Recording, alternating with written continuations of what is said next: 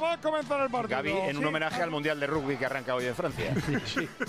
Por la oreja. Sí, con esa protección, con ese casco en la cabeza, ya se ha entrenado con él durante toda la semana. Recordemos que tiene unas grapas en la oreja después del último Villarreal Barça.